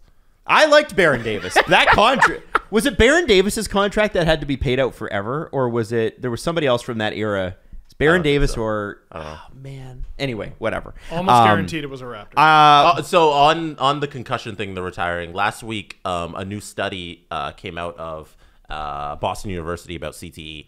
Adam, you can probably speak a lot better than this than I can because you did a whole podcast with um, Allan Walsh on uh, CTE and the uh, done a whole series. Sometimes it feels like, Yeah, because Allan's yeah. passionate about it. So a, a new study has diagnosed uh, degenerative brain disease (CTE) in more than 40% of youth, high school, and college athletes, primarily football players who were exposed to repetitive head impacts from contact sports, died before the age of 30. So more than 40% of youth who were in high-level sports, getting a lot of brain injuries, had CTE, and they died before the age of 30. I mean, we all know probably more than one person who had to bow out of sports, uh, like in their teens, Yeah. because of concussions. And like your body tells you, no, you're you can keep going. It's not how it works, man. Yeah. You, you don't know the underlying impacts because you can't see the brain. You don't know the impacts that it's taken. What I do time. like though is that these guys, at very least, are going. I do have, I do have a life beyond this, and I gotta, I gotta about the understanding whether or not the league recognizes it is sort of immaterial, as long as the players are getting it. Uh, because you know we've seen enough of these documentaries. Rick Westhead's done a couple of them where you're like, it, it, it- they don't have a life. You know, one of the guys, and I and forgive me, I forget his name, but he's living on the street in BC, like Who's that? homeless. Yeah, uh, the uh, finding it was called Finding, and I can't remember the the player's Murph, name. finding Murph. Joe Murphy. It's That- Joe Murphy. There it is. Yeah. F- uh, first overall pick. Yes. Yeah. Yeah. Great player. So these are the things that I. So you know, congratulations to Donskoi on a great career. I thought I think he's a fantastic player. He's one of those guys. I'm like, God, I wish he played for the Leafs. Like he was just such a great player. Um, and it's it's a bummer to see him to see him go like that. Um, but he's protecting his long-term health. Hundred percent, hundred percent. Now we are going to do an extra, a, a bit of a longer press conference because there were a lot of questions we didn't get to yesterday. But I did want to say this one last thing, and this is from uh, Talking Baseball with the Jomboy Network. Uh, the Phillies announced that they've placed Trea Turner on the paternity list. Today, which was the day yesterday, marked the nine-month anniversary of the day that Turner signed his three hundred million dollar contract with the Phillies. I mean, I would. Wouldn't you be? I would be happy. Uh, well, everyone in the house was happy. I think everybody was happy. Good for them. Can I tell you something that screwed me up What? when uh, uh, my wife was pregnant? So, how, how long is a woman pregnant with with a human baby? It's nine and a nine and three quarter months or something. Isn't Well, it like seven and a half? No, no, no, no, no. It's, no. it's longer than nine months. We sound So like it's- three guys talking about pregnancy Yeah. right now. Okay, so it's so much longer than you think, and not shorter than What? you think. I But don't what? know. What are you told gr- growing Nine up? months. Nine months. Yeah. You're not, not- told what Adam just said, Yeah. but but it's 40 weeks. Mm-hmm. But how many weeks are in a month? Four. What's four times? Ten. Yeah, It's ten months. yeah. it's really confusing. I don't know why they do that, but I think it's because they people want to di- uh, they want to the the trimesters. They want to have it like an equal three, like nine is divisible by three cleanly. There's no you know decimal points, so it's easier to put it in those terms. But it's super weird that we were like, yeah, it's for sure nine months when it's very clearly not. Why Nope. don't they say ten I don't know know. because that's what it is. or like nine and a half? yeah. I know I'm. uh, There's a few people rolling their eyes right now, and there's a bunch of brains also melting. Yeah, At wait a sec, is it nine or ten? It's not nine. that's right. It's I'll not t- 10. And I'll tell you this: the second trimester, it's the best one. Why? The best one. Why? Uh, because because they're not they're they're not feeling that morning sickness anymore. At least that's what I was told. I've been told the second trimester Okay. is the best one. and as you know, because you feel look, here's the thing: you're useless, right? Like when when the first trimester, your partner is you know having morning sickness and all these things. Please don't clip this. Well, we're not. We're, No, we're terrible. We're, what are we gonna do? It's No, like, I know. You know, you want to help, and it's like there's only certain things you can take to help, and grab all, and you can't do that. You have to take ginger and all these things and whatever. And and then the second trimester, they're you know energized, ready to go, and and you start to see the bump, which is cool. Yeah. And the third trimester, it's like it's either in their it's either in their uh, the ribs or they're hanging too low and it's uncomfortable. And if it's summer, they're sweating. It's like just it's brutal. It's a brutal process. God bless you. Leo kicked the shit out of my wife like she was a Dance Dance Revolution machine. Like he He's he- a high energy you, kid, You know too. the the the the paper that comes out Yeah. and you see the activity. Oh, it was just a straight line. it was just a straight line. Um, I always, I'm always wondering, and I'm curious about people that have had a second kid. Um, if, because, because I've had some people tell me, okay, the first kid is like it's a lot. Second kid, it's like ah, I'm already doing all that work anyway. Now I thought I took that advice and got a second dog, and I can tell you this: second dog is not double the work; it's probably three or four times the work. Why? Oh, you're I want wrong. another It is dog. the second No dog way. is way harder. I would love to have two dogs, but You can have Adam, both of mine. Adam, for, You want them? I'm kidding. I love my. That's- I love my dogs. I love my dogs. Are you Bindy kidding and me? Cedric, don't listen to this episode. Better not No, put they're this on for they're them. great. And he would just look at you like this. Well, what we have, yeah, because that's how she she's got that s- sort of Yeah, snaggletooth thing Bindy's going on. adorable. They have they have okay. We have three pets because Natalie came to the marriage with a pet and I had two. On rotating days, somebody has done something. So one day it's Bindi chew to shoe, um, which apparently is a mark that they love you. So she always chews Natalie's shoes. She adores Natalie. Uh, on another day, Seti has snuck upstairs. We hide Teddy the cat's food, but Seti knows where it is. And if we're not paying attention, he's up those stairs and hoovering that. And then you know, and then a cat. They are they're cute and adorable and whatever, but they also are vomit machines. They just vomit everywhere all the time. So it's like it's what every day there's something. And had a toddler as well, and they come with their own things. There's a lot, man. I would. Yeah. I want Waffles to have a little friend, just to hang. What out. about two? What about Sit a down. big friend that looks exactly like Waffles? like? I'm not Bindy. taking your dog, Adam. Okay, just saying. So I think that's a pretty good sales What if pitch. What if you're a, just a dolt who keeps getting hoodwinked by his pets? Yeah. I mean, that's the part that I don't want to admit to myself. Have you not considered that maybe your pets are smarter that's, than you, That's the part that I can't. My ego won't let me. My ego won't let me. Steve? Yeah, but you acknowledge it. That's Do you their- think I should get a second dog? Yeah. It's not twice the work. That's bullshit. Adam said it's three times. That's It no, that's not. Don't do it, Jesse. Not because two dogs together aren't great, but but the thing is, is that two dogs, when you're not with child, are okay. But then with child, it's different. two dogs. It's a and lot of two work. dogs and a baby. It's a We lot had of work. two 80 pound dogs, and one of them, his favorite delicacy in the whole world was his own shit. And it was not twice the work. A lot. A lot of dogs like Ah. like munching on poo. May Charlie rest in peace. Charlie doesn't have to be ashamed of He was a good dog. I miss him. but he ate a lot of his own shit. We had, we had Krispy Kremes uh, He, in the he- office. he had his Krispy Kremes. We had Sorry. Krispy Kremes in the office yesterday. I brought home one for my girlfriend Gabby, and she put it on the coffee table, and Waffles ate half of it. Waffles is I not big so either. That- is not a big she, dog. She jumped, so she stood on the couch. She's very smart. She stood on the couch and leaned over to the coffee table and almost tipped it all over. But she got the donut and just munched. You know when they they're they're eating something they're not supposed to eat it and they barely chew it and they just Yeah. swallow it whole. It was one of those. Yep. Yeah, I was. I was so mad at her. Yep. Yeah. Anyways, let me let me know on on Discord or Twitter or You know what this is? DMs This is just going to be self affirmation. That's all this is going to be. Let me know if I should get another like, dog. get it, get another dog. Jesse, it'd be great. And then three years from now, when you're cleaning up something every day, something every day, like especially if Jesse Blake becomes true. Jesse Blake the dad. Adam, one day- you, you hate having two pets. I love Well, it. Three pets. I love so it, but I'm allowed to complain about It it. sounds like you love it. It I do sounds- actually. I love those dogs. I do. I Yeah? love those dogs. You so love much. them, but and they're becoming. They're getting older too, and they're slowing mm-hmm. down a little bit, especially Bendy. which you love. Well, I love that.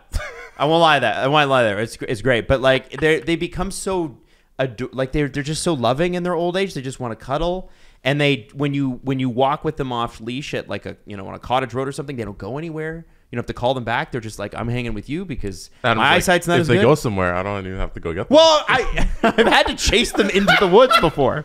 I think the problem is Adam.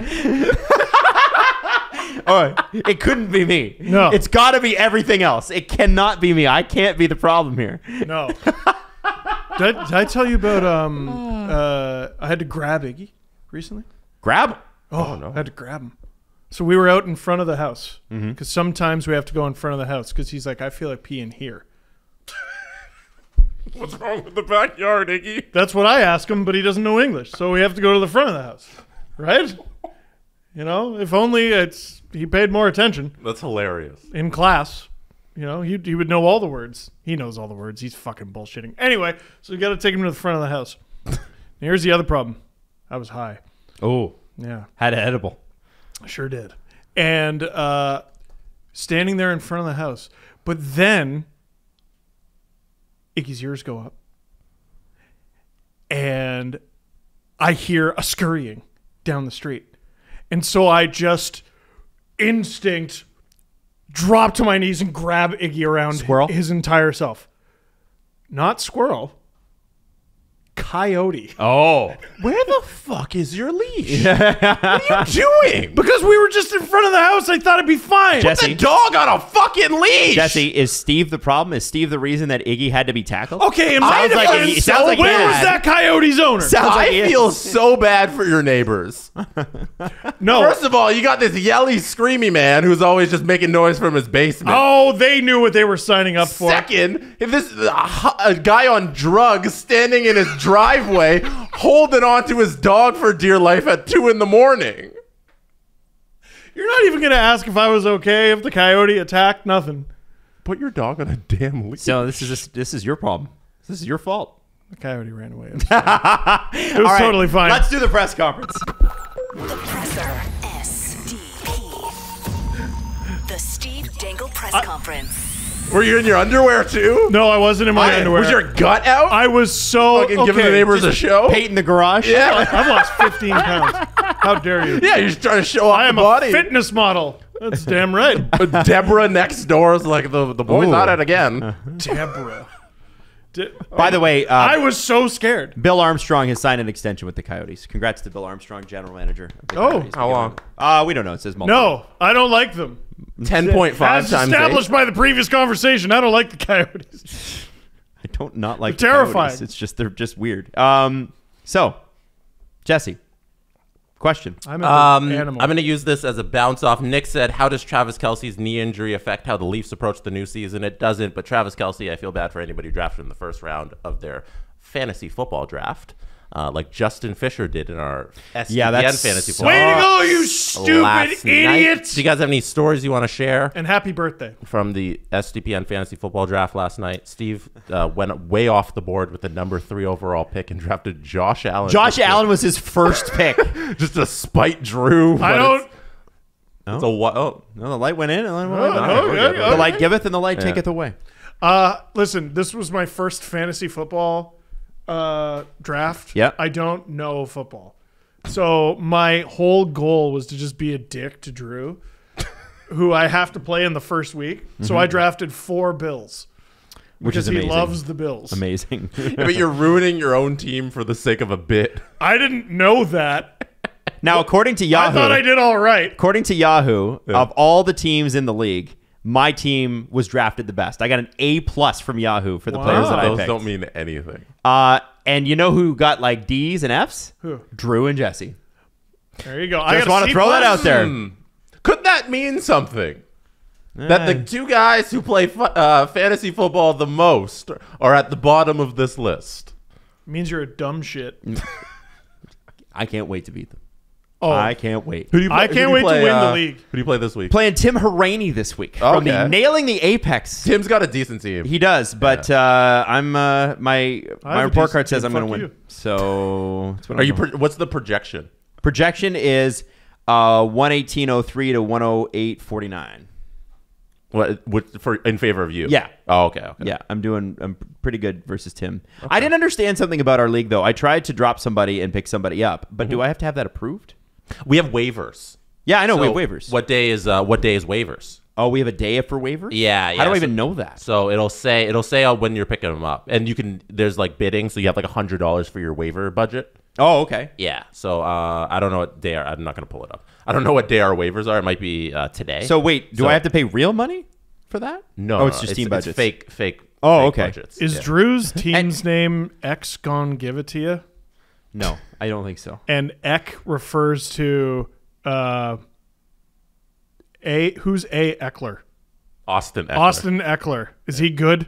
He's he's a good running back. Yeah. He's a good running back. Mm-hmm. Yeah, well, we'll see. We'll see. Probably not. I bet. And by the way, Jesse, who does this bid go to?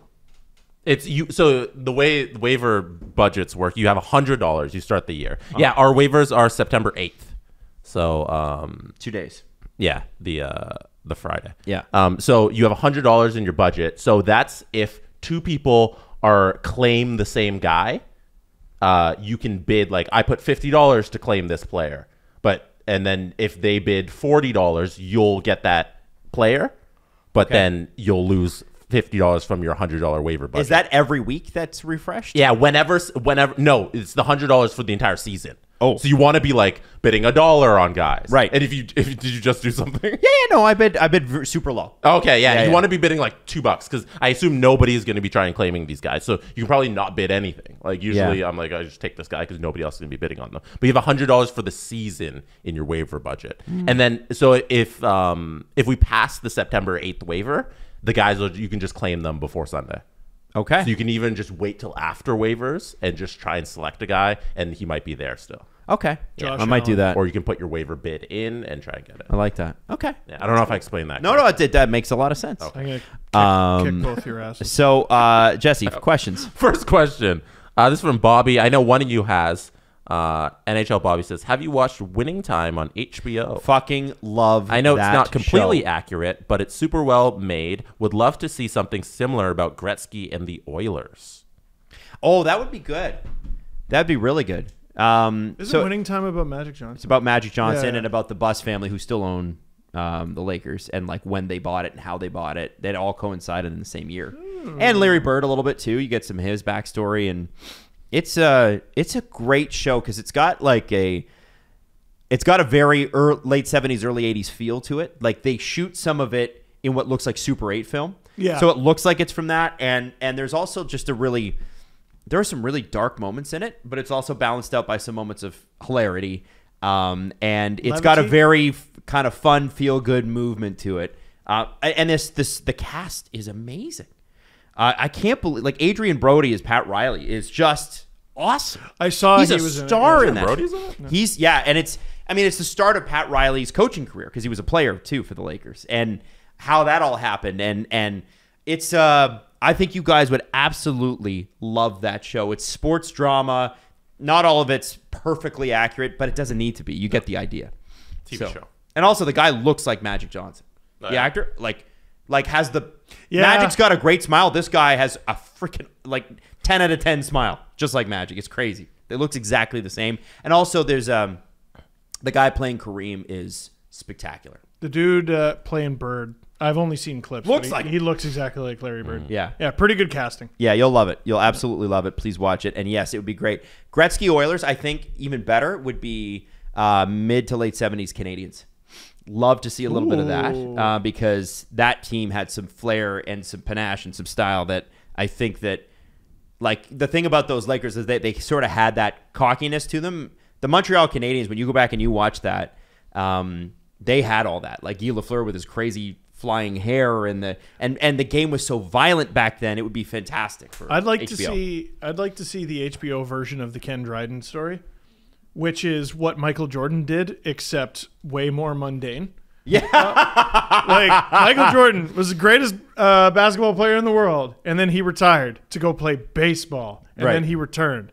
Ken Dryden was the best goalie in the world, and then he retired to work at a law firm, yeah, and, then he came back and was the best goalie in the world. yeah, yeah. You know, you know, it's gonna be weird when we're in our vintage years, in our '60s and everything, and they start making these shows about eras like now that we live through. Oh, yeah. like I still find it weird when it's like kids who were born in like 2000, 2000 and they're like in their 20s now, and they look back on like the early, uh, the mid mid 90s, and they think about that like how we thought about the 80s. You know, when we're kids and like Prince and all the movies in the 80s and like all the big pop culture stuff. That seems so far off. And then like they think about the mid 90s like that. I'm like, we're so old. The thing that's that's messy is that like I think that 70s show the the period of time between when that show lau- launched and the 70s is the same as when it launched and now. That's wild. No, Yeah. I don't think They it like tried that. to do uh, that 90s show earlier this Netflix did earlier this year, I Yeah. think. And I don't think it went well because I I, think- haven't heard much about it. I think that 70s show was a time and a place thing. I don't know, like they tried it with that 80s show. I actually think that concept could have worked. Um, but you have to, you have to be, uh, you have to have a pretty special cast, and they did. And I just think that some, that format is was so good it almost cannibalizes anything else that you would want to jump off on. let's let's be honest. Tw- at least twenty five percent of the reason you like Stranger Things is you. I know that band. Well, I love 80s music. What? Love Exactly. music. Yeah, no, No, that's not Stranger 25%. Things is so much better, besides just not the music. Yeah, Like, part of it. Part of the the appeal. sound- but soundtrack's like great. remind The- you of well, not me. uh, we- I was too young, but Uh, sure. reminds an audience of when they were kids. so, Stranger Things is so good overall. It is such It a is. good Every, everything is. about it is great. But I'm saying part of the appeal is that. I don't want you to diminish Stranger Things. In Well, any that's- I'm but single way. okay, well, here I am. Steve, that's like saying part doing of the part of the uh, part of the draw with Ted Lasso is the soundtrack, which is also spectacular for Ted. Yeah, and the rest Lasso. of it's shit. It's just the movie. it. It's just the music. Oh yeah, soundtrack for Ted Lasso is amazing. Ted Lasso jumped the shark big time. Did it? I didn't see the third season. It's it's it was too much for me. Oh, Yeah. okay. I don't want to yuck anyone. It was a nice balance with the pandemic, but I'm not sure how it plays today. Like it, it hit at a very dark time, and it was so light that it felt so good. It was like a little dopamine hit. It you was know? a correction that we all needed. yeah, well, because everything was euphoria. Eh, Well, everything. Yeah. What the fuck? Like every, by the way, eh, can we have a teen drama that's fun again? Like Euphoria, everything is Euphoria, or a copy of Euphoria, or the other side of that is Riverdale, which is the most bonkers, crazy. Aliens. There needs to be a documentary done on why they even did Riverdale in the first place and why it went the directions that it went. It's what a ridiculous show. yeah. It's Stupid. it's all too much. Yeah, anyway. Man. Somebody's clearly not watching The Summer I Turned Pretty, Oh, I Like- haven't seen that. Is it good? like Maddie is. Is it good, Matt? My wife has watched that show, Maddie, and I think less of you now. Is it that bad? You It's- watch it's, that It's show. not great. It's not great television. Okay. Well, It's- neither it's was very- Riverdale, but I no, watched every episode. It's not great television in that it's not prestige television. You know, it's very the, we're going for baseline, and it's going to be uh, baseline entertainment. You know what women are better at than men? Watching a stupid fucking show and saying, "Yeah, it's a stupid fucking show," with a smile on their face and enjoying the shit out of it. the original Gossip Girl, stupid. So good. Well, it's so good, Yeah. but stupid, right? Right. Stupid. It, it's okay for a show to just be entertaining. yes, thank you. Yeah. 14 at the time, though. Four, 14. Yeah. Yeah, it's a great. it- and what's the other one with the four? There's four girls, and they're in high school. Sex in the City. Oh, no, oh fuck. no, no, they're in high school, and there's like a murder, and someone's trying to murder them. Oh, You know what I'm uh-huh. talking about? No. What's that? It was Pretty so Little Liars. Pretty Little Liars. Oh yeah. Okay, PLL?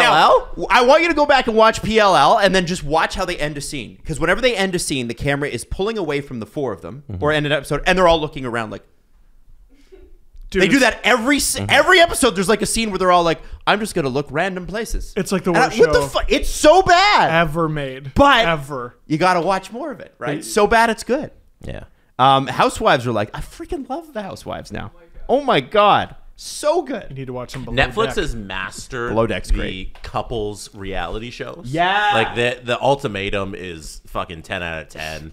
Um, You're the Like- one who you and Gabby are the ones that got me really into reality television. Yeah. Sun, s- uh, selling Sunset was like my gateway. Selling Sunset's an, another one where Netflix just hit it out of the park. Like they're they're really good at at making these reality shows, and they know how to like they have uh, the Circle as well, and the Circle's um, the one where they all live in separate rooms and all that stuff. But they're really good at taking that old MTV format of the real world where you reuse the characters. Yes. So you'll take somebody from one of the reality shows and you'll throw them in the other one, and then you have the whole reality show universe that you're building, and then it's it's fabulous. Who watches great TV? television? Who what? No, it's not great television. it's streaming. Yeah. Yeah, TV. But that's the what it is these days. Yeah. Yeah. Yeah. No, it's great. I love it. Yeah. I love it. Um. Okay. What else we got, Jesse? What else we want Um, to talk about? This is from Tyler Boone. Does Nick Robertson crack the starting lineup? If not, is it best interest? Is it in the best interest of both parties to find a trade partner? Uh, no, um, I haven't changed my opinion on this. Well, so I've changed my opinion. I think there's a better chance he makes the team than you think. Uh, this is a team that wants to score goals, and he's going to help them achieve that goal. Um, he's gonna have to. I mean, he's gonna have to stay healthy, whether he's in the NHL or the minors. Uh, I don't think trading him makes any sense uh, because the team is only going to want him because they think he can be a goal scoring a goal scoring star for them. And why not keep him and have him be a goal scoring star for you? He was the youngest player drafted in his draft class, which I think was 2019. Also, ever. Also, ever. No, I, I think he's at the time he was actually. Technically. Yeah. Yeah, you can't get one past me, Jesse Blake. Um, Well he's st- he's still only like 21. There's no why why, what's the rush? Just because they rushed him in an extraordinarily unique situation where the Leafs were playing playoff games in August uh, doesn't mean he needs to be in the NHL right now. What's wrong with him starting in the AHL, being the Marlies' best player, and then when they need a player, they call him up? yeah. Now, I could understand why that'd be frustrating to him. I could understand why he would ask for a trade. I also think he would understand that he has not established himself at the NHL level. And and and there's been reasons for that. There was COVID, there was a broken leg, there was other injuries that have happened if I'm that not have been mistaken, unfair. if frankly. I'm not mistaken, he's looking for his second contract. Um, and yeah, like you're you're gonna want to make some money. Yep. So the best way to make money is to end up on an NHL team. But like, I don't know, someone still was willing to offer over a million dollars to Filip Zadina. And that dude has played in the NHL and he didn't do shit. You know? So uh, if if I'm him, I want to be in the NHL. Um, I totally understand that. To me, there's no reason for the Leafs to trade him.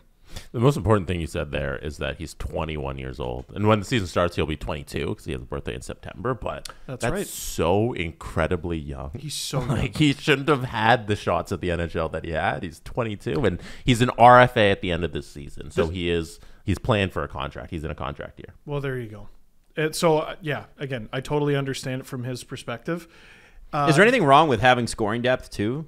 Fucking no. I, does anybody It's hate that? bad. Like if Matt Knies goes down again and Nick Robertson comes up and do, does a good job, anybody upset about that? No. You know what I fucking hate? What do you When- fucking Give me, hate? give me When what you the- you never say that. when do the you- what do you last fucking when the last GM here who was in Toronto and now his favorite city in the world is Pittsburgh, when he would sit there and say, "I'm gonna do right by this player and trade them," Travis Dermott should have been a Leaf a lot longer as just as protection for the defenseman. Alexander Barabanov. What is this thing where I hope Treliving doesn't do it, but Dubas had the bad habit of like he's he's unhappy here. He doesn't get playing time. He wants to go somewhere else so he can he can play, and I'm gonna move him. I got a name for you, Rasmus Sandin. exact same Why situation. was that trade greenlit? He's not. Dubas is not even here now. You know, like that trade. Like, listen, Rasmus has got holes in his game. He had a good start in Washington, and then his advanced numbers weren't great. Whatever, whatever. The Caps aren't good either. weren't good last year anyway. Rasmus Sandin should still be a Toronto Maple Leaf. He should be fighting for a lineup spot. I understand why they made that trade. Eh, kind of fucking sucks. Eh, it kind of fucking sucks. the first round pick that came back, right? yeah, and And Gustafsson. Erik Gustafsson, And Erik Gustafsson. who they didn't play and then lost. It's just I hope we don't get into a similar situation with Nick Robertson. That's that's why it sparked in my mind. I don't want to see him traded um, just because he wants to play. He is under contract. You have his rights. You do not have to trade him just to do right by a guy. You, you know how you can do right by him is pay him to be a professional hockey player, Mm-hmm. and uh, hopefully he does well. Those things never come back around. When when did Dubas get the favor because he did right by an the agent? one. The argument, Yeah. the argument is that made Toronto a more appealing free Nah. agent stuff. I mean, how No. many how many things does, does Toronto need to have going for it for it to be appealing? I, I don't Like Doesn't it- need the that. richest, the most intense fans. Uh, like, what else do you need? Hi, Uh, here's fucking everything. pretty good city to don't live know. in. pretty good country to live in. Like, I don't know. I and, and we're like, you know what? No, no. Let us do you the favor. Can you can you do a bit better than fucking everything? Please. that GM thing doing a favor for it's it's as much for the agent as it is for the player. I It's- think it's the sometimes that's what it is. It's the agent on the phone being like, "Hey, you know, I got a guy also who's be be a free agent next year. Maybe he'll sign with your team. And like, can you do this guy a favor? Can you get him out of here?" And the GM's like, "Yeah, I'll do. You're my buddy. Whatever." that shit never comes back around. Stop doing it. I think he's a brilliant hockey mind who is superly super easily manipulated. Wow. Kyle What do you think? Yeah. I mean, it should say something that his line in the sand, uh, his "I'm a big boy" moment, was not trading Zach Hyman to the Oilers for a seventh. Fuck. Amen. because I'm a big boy. Just get the draft pick. Who Price cares? is. I would rather You're losing get him anyway. Nothing, No. even though all like one of my top three favorite things in the entire world is sixth and seventh round picks. I am not going to do it. But I, I think I think a lot of people said, and I get this, is like, why are you helping another team? It's the Oilers. Gives a fuck. They're helping you. They're giving you something Yeah. instead of you getting nothing. It's not a help when you get something back. It's not. It's, I'm not helping you when I I'm just pay for I, I'm something. I'm pre-arguing this. Yeah, also yeah. ta- very, I think very it's- obvious. Am I helping the tampering. store when I pay five bucks for the bag of chips? I think No, there's pay for very it. there's Give me my very little chips. Very very little when you look back on on Dubas's tenure that you can s- sincerely fault him for. There are a few things though that I think as you know because you can only really look th- at things 2020 hindsight you know with a couple of years under your belt but i think one of the things that is going to come up is uh, i think there people are going to say even though the pandemic happened even before the pandemic everybody wanted them to have lower numbers on the rfas they Mm-hmm. with there if if you knock a million or half a million off of all those RFAs, w- we don't have any of those discussions, pandemic or no pandemic, right? Mm-hmm. They did make a bet. The bet was wrong. You got to live with that, right? The bet was the cap was going up. The cap didn't go up. And So there's and that. Here they are, and they still don't want to take discounts. Well, who could blame them? They never did before. It doesn't come back. So I think I think in this case, I, I think yeah, I, I think there were things with Kyle. I think Kyle is an inherently good human being and wants to do right by people. And sometimes that does, that's at loggerheads with what being a sports general manager is. Generally you have to be ruthless. I you know we- Generally we, gave speaking- hold on we gave Vegas shit and we were wrong. We gave Vegas shit because we're like, listen, they're lying to all these players and these agents. People are pissed off. They're signing long term deals, and Vegas is like, next year, you know what? There's someone shinier than you. We're going to punt them out. Guess what they just did? Won the fucking Stanley Cup. We were wrong for the right reasons. Mm-hmm. And I- they're still champions. It's a it's a cold fucking take on my part. Cold take to even say that because that's what it is. They they recognized what sports was. They said you're coming in here, you're performing. The second you don't, or the second there's someone better at your position available, you're gone. and it was it was a lot of necessary evils because Bill Foley said something on a show that I'm sure Gary Bettman screamed at him for. They said if there was no cap, how much would you spend? And he hmm. said 130 million. The cap is 85, less than 85. 83 and a half, I think. Holy shit. He would spend 130 million.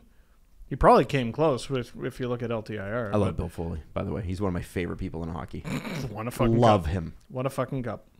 Yeah. Anyway, They don't give you a ring for being a great guy. Uh, last thing. I no, they think- sure don't. they give you no credit for being a great like, guy listen, either. Generally speaking, it's an incredible human trait uh, in the world of business. Well, uh, the other thing, remember what happened to Brian Burke when he was in Afghanistan supporting the Canadian soldiers there, but it happened to be July 1st, and how much sports writers in this city got into him about that? Mm-hmm. It's free agency. Why aren't you here? Like, it's a, you know, there's no reward in sports for being a good guy, unless you're a good guy who also won the cup.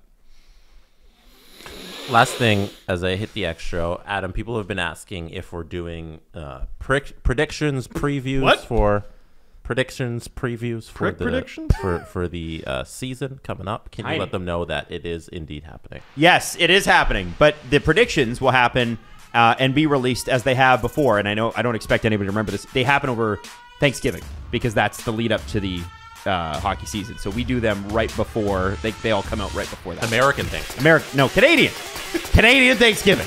Prick. The Steve Dangle Follow the guys on Twitter at Steve underscore Dangle, at Adam W Y L D E, and at Jesse Blake. Connection complete.